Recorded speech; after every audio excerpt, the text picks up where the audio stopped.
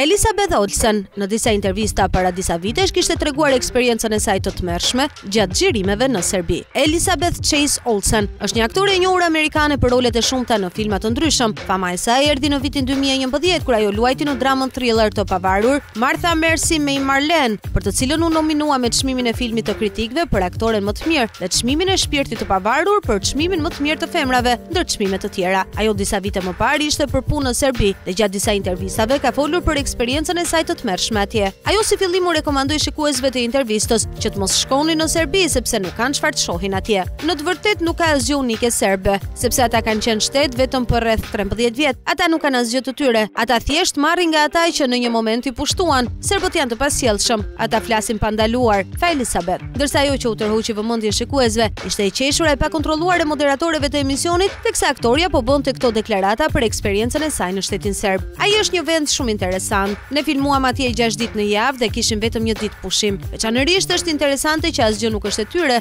sepse vendi u formua vetëm 13 vjet më parë. Ata janë një kombinim i të gjithë atyre që qeverisnin vendin e tyre para kësaj, tha ajo. Ndonëse intervistat u bënë në vitin 2014, Ato janë publikuar në YouTube në vitin dy mijë e njëzet dhe tani po xhiron në rrjetet sociale, ndërsa tashmë këto intervista kanë shkaktuar reagime të ashpra në Serbi, ku edhe ka shumë kërkesa që asaj t'i ndalohet hyrja në shtetin e tyre.